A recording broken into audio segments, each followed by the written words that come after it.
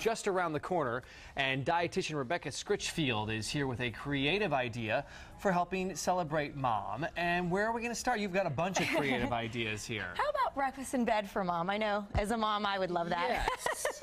now, how do you do breakfast in bed and do it the right way? Well, my goal is to make it easy on dads. Okay. So I use my husband as a litmus test to see how easy I can get it. And it is super easy. Lower your expectations, exactly. make it simple for them. So hard-boiled eggs the night before, pair with some fruit, and then I've got these yummy kind breakfast bars, which you know I love kind. These Right. are like my new favorite.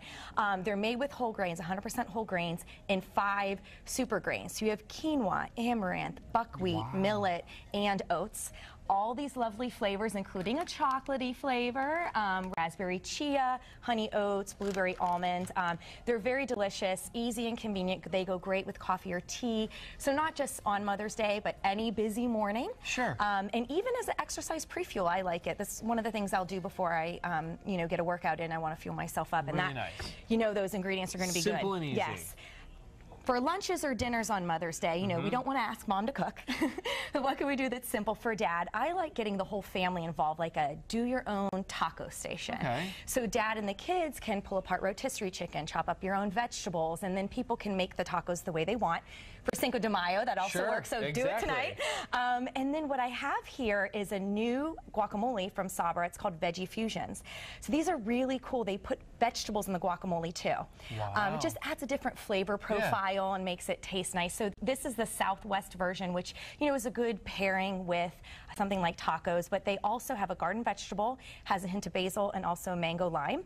Um, and so it's a great option to have, especially when you do these unofficial meals, which is another good idea for Mother's Day.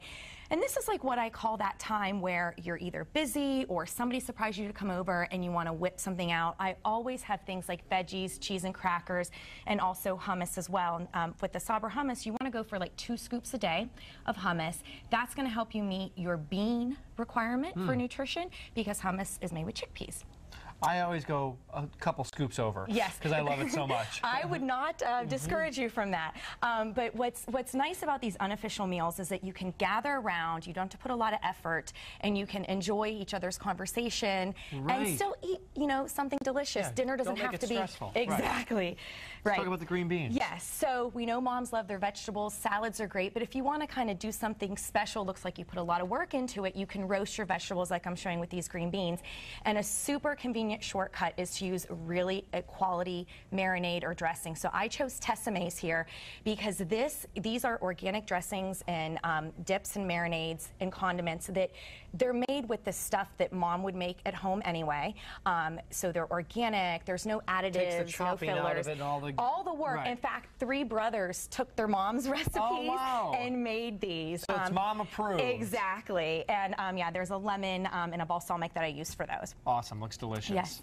I'm taking the rare opportunity to show some baby food. Okay, I was gonna say. Because what makes us moms, you know, Right, correct. especially for new moms. There's actually um, a survey that Beechnut did that showed that most parents are confused about what they should do when they start feeding their kids.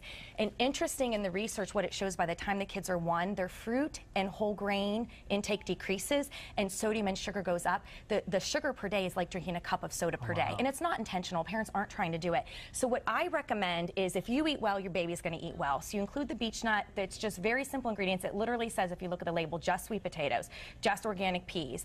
Um, they've got a lot of varieties to choose from, and then you give them finger foods that they could that would be nutritious that you would eat yourself, like tuna and rice. And real quickly, we Real have to quick. go, but I want to know about Okay, the so tofu we got it. mousse. It's House Foods organic tofu. It's made with chocolate and bananas. Tofu is really nutritious. It's got nine essential amino acids plus your protein. It, this House Foods organic in particular is non-GMO with U.S.-based soybeans, which Looks is really delicious. important. It's a great way to get your Awesome. extra You dessert in. Always have great stuff. Happy Mother's Day to you. Thank you. And where can everyone go for more information? They can go to my website at RebeccaScritchfield.com. Rebecca, always great to see you. And we'll have more of Let's Talk Live right after the break.